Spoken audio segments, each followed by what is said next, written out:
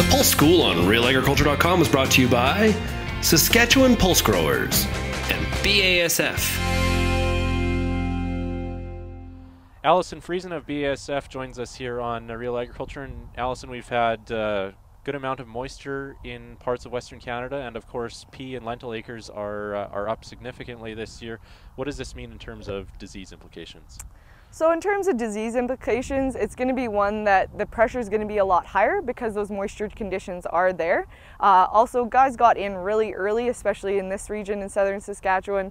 They were in second last week of April. Uh, most of the pulses were in before the second week of May. Uh, so we have really good stands established early, but that means we're also going to get canopy closure a lot earlier as well, uh, which can be a concern if uh, a grower does have that canopy closure early. It forms a bit of a microenvironment environment for those diseases. So you want to make sure that you're scouting your crops early and making sure you're coming in with a fungicide before um, first flower if you do see those disease uh, symptoms occurring or if you do have favorable environments for it.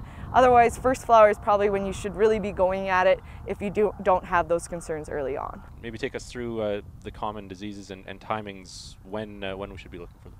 So in peas, Mycosphaerella is definitely one of your largest concerns. It's pretty much in every pea field in Saskatchewan and even probably in some of those heavy soil zones that are trying it out in Manitoba. You will also see a lot of concern. It's a really important one to get on early because it does start from the bottom up of the plant. So that can affect how much green tissue you have, which ultimately affects your yield.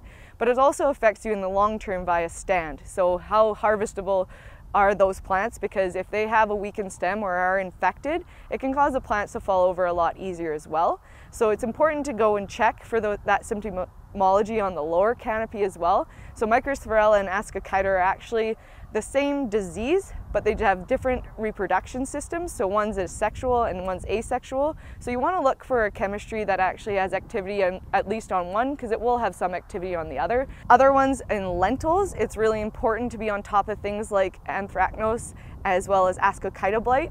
Both also early season. A lot of them can be seed-borne, so it's important that growers did use healthy seed and hopefully a majority of them did but you can still see those uh, inoculums in the fields. We have a lot of guys going pulse on pulse this year uh, just because prices are so good and the market was there. So it's really important that they're checking how, what their disease inoculum levels are and watching it progress up the plant. Anthracnose can be quite devastating if conditions are actually conducive.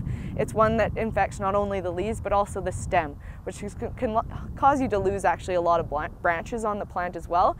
And it causes a significant pitting on the stem as well, which we can see in some of these demonstrations. Uh, so it's, it's very easy to identify, but very small, but can move very quickly through plant contact as well as rain splash. So it's important to take care of. Um, Ascochyta is a big one uh, that we've seen lately in lentils as well.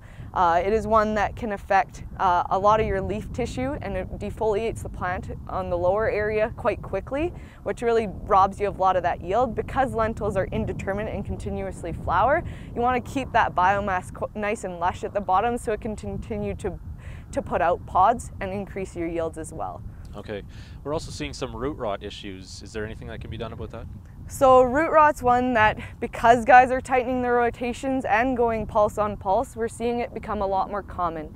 Uh, root rots right now, there isn't anything that fully controls root rot on the market.